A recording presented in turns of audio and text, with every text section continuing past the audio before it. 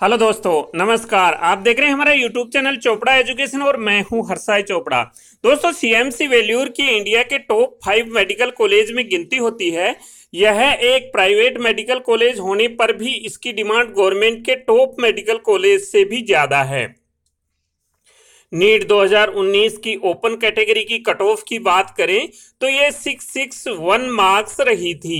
इसमें admission NEET score पर ही तमिलनाडु स्टेट अथॉरिटी द्वारा काउंसलिंग करवा के किया जाता है।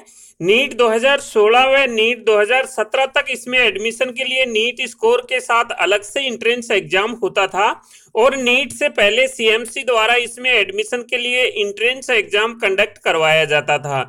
लेकिन अभी इसमें एडमिशन प्योरली नीट स्कोर पर ही होता है।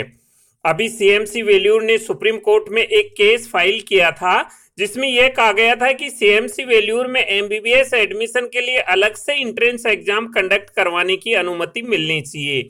इसकी हियरिंग के दौरान सुप्रीम कोर्ट ने कहा कि नीट एग्ज़ाम का सिस्टम इंडिया में प्रभावी तौर पर काम कर रहा है।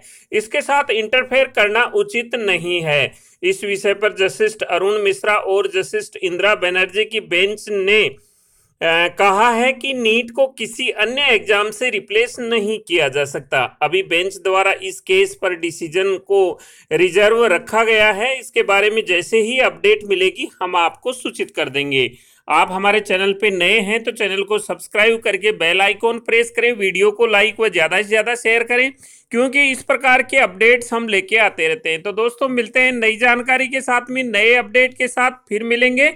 तब तक के लिए जय हिंद।